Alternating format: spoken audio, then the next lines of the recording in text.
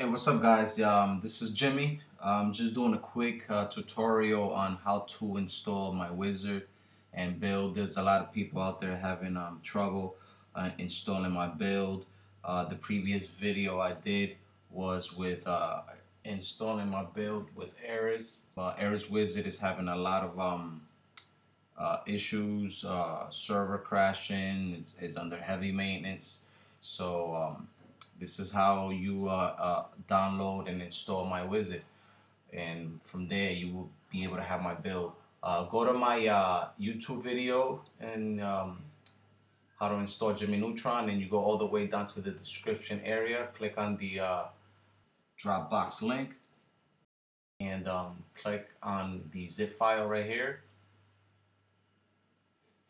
Okay and you go to the download but you see little this little down arrow click on it direct download no thanks. And um, it starts to download and drag the file onto the desktop. Open Kodi. Go to system add-ons start from zip file. Find that zip file on your desktop. Click on it there it is, and you go back, programs, and here it is. Click on it. Okay. And uh, this is my build, and you just click on it to install. I'm gonna forward the video. Okay, now it finished. Now let it extract.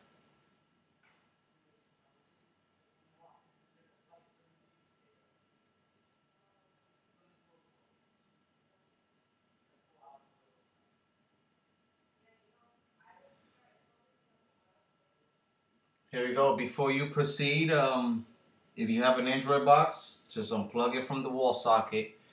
And if you have an uh, Windows or a Mac, just uh, what you do is uh, force close and um, you're good to go. Um, I did this video just to help out those that are having trouble and that cannot install my build due to Ares Wizard um, technical issues that they having. But Thank you very much. Sorry for the inconvenience. Later.